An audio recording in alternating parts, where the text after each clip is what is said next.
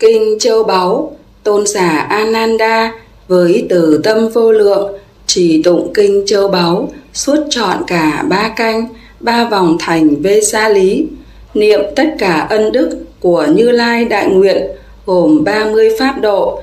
là 10 ba la mật, 10 thường ba la mật, 10 thắng ba la mật, năm pháp đại xả thí và cả ba đại hạnh, đại hạnh cho thế gian, đại hạnh cho thân tộc, đại hạnh quả vị Phật trong kiếp chót giáng trần, xuất ra tầm giải thoát, 6 năm tu khổ hạnh, chiến thắng đại ma quân, đạt nhất thiết chủng trí, chứng chín pháp siêu phàm và chuyển vận pháp luân.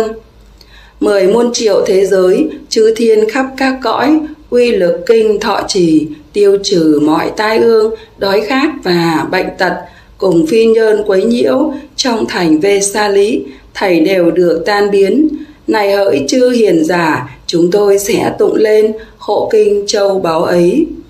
Phàm những sanh linh nào đã tụ hội nơi đây hoặc các hạng địa tiên hay các hạng thiên tiên mong rằng mọi sanh linh được đẹp ý vui lòng rồi xin hãy thành tâm lắng nghe lời dạy này. Do vậy các sanh linh tất cả hãy lắng tâm rồi khởi lòng từ mẫn đối với thầy mọi loài. Ban ngày và ban đêm họ dâng lễ cúng dường, vì vậy chớ sao lãng, hãy hộ trì cho họ. Phàm có tài sản nào, đời này hay đời sau, hay ở tại thiên giới có châu báu thủ thắng, không gì sánh bằng được với Như Lai thiện thệ. Như vậy nơi Đức Phật có châu báu thủ diệu, mong với sự thật này mọi loài được hạnh phúc. Pháp bất tử tối thượng, ly dục diệt phiền não, Đức Thích Ca Mâu Ni có định chứng Pháp này, không có gì sánh bằng Pháp thiền vi diệu ấy, như vậy nơi tránh Pháp có châu báu thủ diệu, mong với sự thật này mọi loài được hạnh phúc. Phật Thanh Văn Duyên Giác nói lên lời tán thán, định thủ diệu trong sạch, liên tục không gián đoạn, không gì sánh bằng được pháp thiền vi diệu ấy. Như vậy nơi chánh pháp có châu báu thủ diệu, mong với sự thật này mọi loài được hạnh phúc. Thánh tám vị bốn đôi, đệ tử đấng thiện thệ là những bậc ứng cúng được trí già tán thán, cúng dường đến các ngài được kết quả to lớn, như vậy nơi tăng chúng có châu báu thủ diệu, mong với sự thật này mọi loài được hạnh phúc. Những vị đã ly dục với ý thật kiên trì, đã khéo léo phụng hành lời dạy Gotama, họ đạt được quả vị, họ thể nhập bất tử, họ chứng đắc dễ dàng, hưởng thọ sự tịch tịnh. Như vậy nơi tăng chúng có châu báu thủ diệu, mong với sự thật này mọi loài được hạnh phúc. Ví như cột trụ đá được chôn chặt xuống đất, dầu bốn hướng cuồng phong cũng không hề lay động. Ta nói bậc chân nhân thấu rõ tứ thánh đế cũng tự tại bất động trước tám pháp thế gian. Như vậy nơi tăng chúng có châu báu thù diệu, mong với sự thật này mọi loài được hạnh phúc.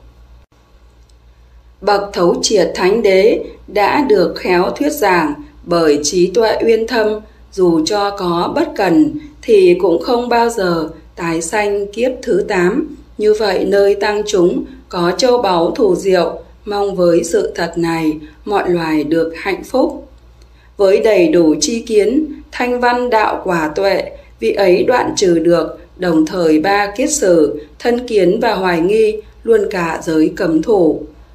Vị không thể nào phạm, sáu trọng nghiệp bất thiện, vĩnh viễn giải thoát mình ra khỏi bốn đọa xứ, như vậy nơi tăng chúng có châu báu thủ diệu, mong với sự thật này mọi loài được hạnh phúc.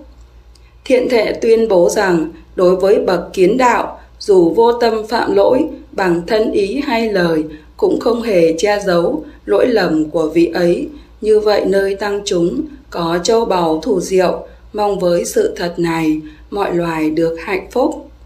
Đẹp là những cây rừng đội trồi non đầu ngọn trong tháng hạ nóng bức, những ngày hạ đầu tiên, Pháp thủ thắng Phật thuyết được ví dụ như vậy, Pháp đưa đến Niết Bàn pháp lợi ích tối thượng, như vậy nơi Đức Phật có châu báu thủ diệu, mong với sự thật này mọi loài được hạnh phúc.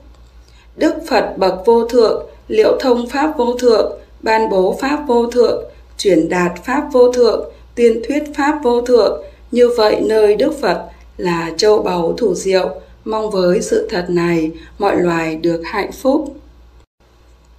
Nghiệp cũ đã đoạn tận, nghiệp mới không sanh khởi, tâm tư không kiết sử, trong sanh hữu tương lai, bởi tham muốn đã đoạn, các chủng tử không còn, ví như ngọn đèn tắt, bậc trí chứng niết bàn, như vậy nơi tăng chúng là châu báu thủ diệu, mong với sự thật này, mọi loài được hạnh phúc.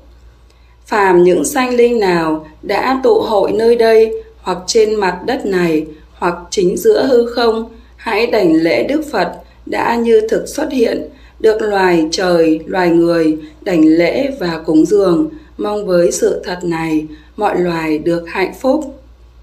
Phàm những sanh linh nào đã tụ hội nơi đây hoặc trên mặt đất này hoặc chính giữa hư không, hãy đảnh lễ chánh pháp đã như thực xuất hiện, được loài trời, loài người đảnh lễ và cúng dường, mong với sự thật này mọi loài được hạnh phúc.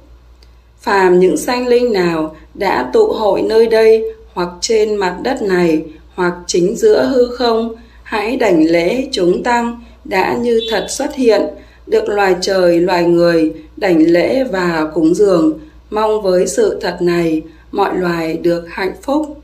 Dứt bài kinh châu báu